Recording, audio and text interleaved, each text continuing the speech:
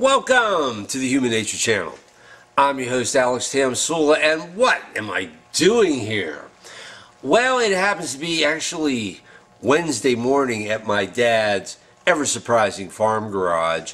In fact, I'm going to show you something. I got to lift the tripod and the camera and flip the monitor around so I can see what I'm doing. Uh, yes, there we have it. That is a still. That is a bootlegger's still. What can I say as I flip the monitor around and put my camera back to where it was? My dad's a trip. Oh yeah, he really is. Okay, uh, I've got everything I need for this evening. I got my got my scotch tape. I got a jar of rubber cement. I got uh, I got a pointer with a magnet on the end of it. The reason is this turned into a 16 page script and I've got all the pages leaning up against the microwave oven with a whetstone. That's where you sharpen knives. I got this long whetstone. I'm holding it in place. This is a real improv thing. And the magnet is to grab staples that are in the uh, sheets of paper, like one staple on the first page is on the left side, the next staple on the second page is on the right side, and back and forth, back and forth. So I'm going to pull these pages forward as I read them. Uh, this could turn into a total disaster, but you'll still get to see it. Okay, a couple of things I'd like to address before we get started. The word um on the mirrored door of the medicine chest behind this camera, I got the word um scotch taped. And it was there last week. And when I went home last Wednesday and loaded the video into my computer and watched it, to my horror, I am saying the word um after every sentence. And I'm like, all right. Tell a little kid not to run with the scissors, and what does he do? He runs with the effing scissors. Okay, next bit of business. In my last video, I showed a diagram. So here we go. Video number 20, I believe. And I've corrected all of the things that were pointed out to me by the commenters. Thank you for this. I put north in the right place. I got west and east where they belong. Uh, I think one of the commenters said, I'm not even sure you got gate 7 in the right place. I give up. Okay? Let's see what else. In my last vid, I said We Be John Cullen was video number 17. Actually, it's video 16. I catch my doofy mistakes after the fact, and then I slap myself in the forehead and correct them. I'm going to have to watch that. A couple of shout outs to Eric Peters and Concerned Citizen and the great back and forth we had in the comments section on Sunday. I've been over I've been on YouTube for over a year and a half with my movie review channel, Movie That's So Groovy with Alex, and I hardly ever got any comments. Now on the Human Nature channel, I'm finally getting the full social media experience on YouTube, and it's a lot of fun. Like Lawrence Welk used to say, Thank you, boys. Oh, did you know that Willie Nelson was the guitar player for the Lawrence Welk Orchestra back in the day? A fun fact to know and tell. Now, the idea for this video came to me last Friday when I was thinking about all the people who make up the Las Vegas Shooting Truth community and how there are a lot of different scenarios put forth. I use the word scenario instead of theory since there are individuals, the ones on the outside of this community looking in, who don't approve of what we're doing, and they'll stick the word conspiracy before the word theory and use that as an insult. I'm sure we've all had some experience with that. And you know what happens when somebody calls me a conspiracy theorist? Talk to the ponytail. Uh, but if you are canvassing all the different scenarios people in the community get behind with all the various data points, you'll quickly notice there's a clear division. On the one side of the divide, you have the camp where Stephen Paddock did the shooting alone. He, oh golly, excuse me, He was a gambler whose mental state was deteriorating and he was becoming paranoid. He thought the casinos, the casinos were cheating him. He also had taken to buying long guns and formulated a plan to get revenge on the casinos. Excuse me one second.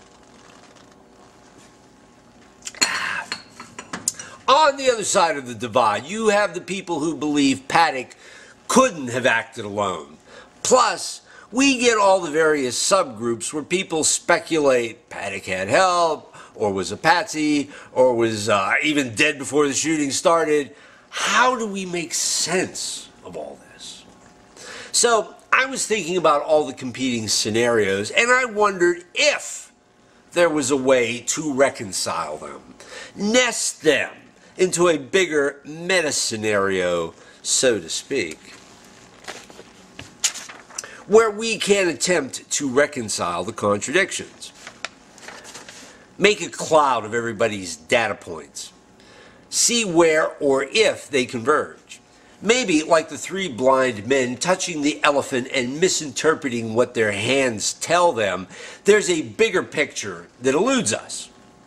I started thinking about all the scenarios as if, as if they were islands in the ocean but islands close enough so we could build bridges between them where people and ideas could cross back and forth to tackle the Paddock paradox, which is no solid evidence that Paddock had accomplices in the Las Vegas shooting, yet everything he did looks like more than is possible for one person, especially a 64 year old geezer like Stephen Paddock. So, first, let's set sail for Jake Morphonios Island. Here it's asserted Stephen Paddock was a CIA gunrunner, and that Paddock had some really strange friends and wasn't quite the loner the mainstream media portrayed him to be. Next, we shall break the waves to Mike Turber Island, where we will hear that the Las Vegas shooting was done by Paddock alone because he wanted the aforementioned revenge against the casinos.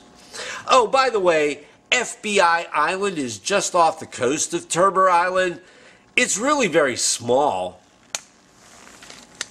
Only three pages.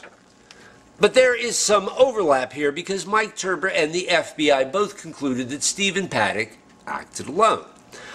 Overlap is very important to my little project here. More on that later. So, between Morphonios Island and Turber Island, we have these two scenarios that seem to be at odds. Is there any way for these views to coexist? Operating under the assumption that these two investigators have at least some element of the truth on their side, as per the three blind men and an elephant who probably wondered what the hell was going on. Let's build a bridge between Morphonios Island and Turber Island and see what we come up with. But first, I should mention that in 1981, President Ronald Reagan signed Executive Order number 12333, allowing for privatization of intelligence operations, otherwise known as contractors. Another fun fact to know and tell. Keeping this in mind, let's say Stephen Paddock was approached at some point by an international man of mystery. Turns out this international man of mystery knows a great deal about Stephen Paddock, and he's also good at establishing rapport. Knows enough about the ups and downs of video poker to create the impression to Paddock that he knows what he's talking about. Then he gets on the subject of buying and selling military style rifles. Excuse me one second. Ah, Paddock says he buys guns as an investment. Now, Alex doesn't know this for sure and would love to find out one way or the other, but maybe none of the guns, save for the ones in Las Vegas shooting, were ever fired. You only buy guns for one of two reasons to shoot them or to sell them. If none of the guns had ever been fired, that way Paddock can resell them as new at full price. If those Second Amendment types have success in blue states pushing for stronger anti gun legislation, if the families of Sandy Hook are successful in their lawsuit against Remington, bankrupts the country, uh, excuse me, company, and gets it shut down, guns will become scarcer and the prices will go up. Hey, I'm an accountant, says Stephen Paddock. Here's the plan. The CIA wants to shut down a group of Muslim gun runners operating out of Las Vegas. Our undercover operatives will send them your way, Steve, because after they've been told you are looking to sell your entire collection of brand new guns, they'd love to meet you. They'll have you travel to a hotel to make the gun buy, says the man of mystery. But at the last minute, they'll call and cancel saying they can't make it because mm, it's not looking safe. They'll reschedule, give you another location to try again. And again, they'll call and say they can't make it. But they're only testing you, trying to figure out if you're for real. Eventually, they'll give you one more hotel to travel to Mandalay Bay. Third time's the charm, or maybe the fourth. You think the casinos are cheating you, Steve? Well, we'll fix their little red wagons we are leaving Mandalay Bay out of the loop because of their lack of security. This gun running shit happens in that hotel all the time. Hotel management knows all about it and they ignore it because they get kickbacks. This stings, Steve, will expose all this and give Mandalay a well deserved black eye. And you'll be handsomely paid for your services. What do you say, Steve? Steve says, let's see, sure. Okay. The International Man of Mystery says, great, there's only one more thing we're going to need a cover story. And that brings us to Loomer Island. After my cruise ship capsized off the coast, I swam the shore. It was a mile.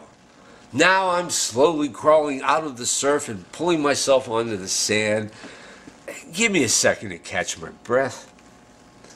I just want to take this opportunity to say, even though I'm a big critic of Laura Loomer, I don't think she should be deplatformed from social media.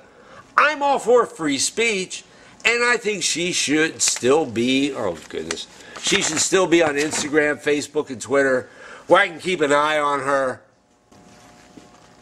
I'd love to see her face on billboards along the highway, holding a glass of milk and wearing a white mustache. I'd love to see her as a balloon in the Macy's Thanksgiving Day parade. You could put her on a postage stamp for all I care. Can we at least all agree that trespassing is not cool? Can I get a consensus here? Can we all agree that trespassing on the lawn of the home of Nancy Pelosi, Speaker of the House of the United States House of Representatives, is not cool? That trespassing on the lawn of the home of California Governor Gavin Newsom while wearing a sombrero is not cool?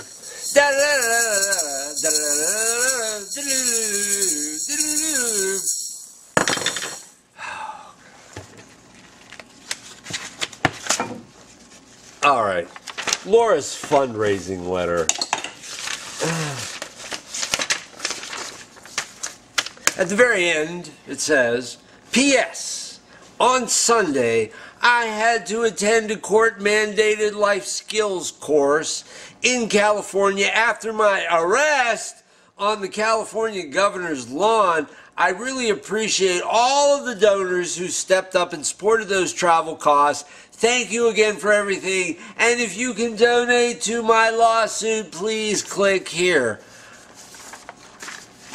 I'm sure a lot of you know how I feel about Laura Loomer. Can you believe I actually get fundraising emails from her? I think I know why this happened. It's because I posted a comment in the comment section under one of her YouTube videos, and I ended up on her email list. You know what? I hope her fingerprints are all over this. I hope she did this deliberately. Hey, Laura, my deal still stands. In fact, I'll up the ante. You say something about Plantation, Plantation, Squirrel Hill, and I'll cut you a check for. Oh, where the hell is it? Oh, there it is. 50 bucks. I got it right here. Alex of Squirrel Hill has a real problem with you, Laura. Do you hear me? Okay. That's enough Laura abuse. Uh, I'm again. But remember, Laura hit Las Vegas with a ready-made agenda. Boo hiss Islam. Boo hiss Sharia law. Boo hiss ISIS. Boo hiss shish kebab. Boo hiss algebra. So, of course, she'd grab hold of any scrap of information that bolsters the notion that the Las Vegas shooting was an ISIS attack. Laura said, My sources told me that Stephen Paddock converted to Islam six months before the attack. Okay, that's interesting, especially since Islam prohibits gambling. Isn't Stephen Paddock on CCTV footage gambling the day before the massacre? You know, some Muslim he turned out to be. Laura said, My sources tell me that Stephen Paddock settled all his debts before the shooting, which is what someone preparing for jihad martyrdom does. I suppose that could be the act of a terrorist preparing for his big close up or it could be the act of someone getting ready to flee the country and has the attitude, nobody's going to call me a welcher. So let's say we build a bridge from Loomer Island to Morphonios Island. And let's say we build another bridge from Loomer Island to Turber Island. As I said, according to Laura, Stephen Paddock supposedly converted to Islam. The Muslim gun buyers would be comfortable with that. There's your cover story, Steve. Overlap and contradictions are important to my scheme of finding a way to link all the scenarios together. Again, I'm not saying Paddock and the International Man of Mystery is what happened, but I'm trying to come up with a model of the data that explains as much as possible. I'm putting all of the data into a context. And even if everything I'm saying is fictional, truth is stranger than. Where we find contradictions is where we have more work to do.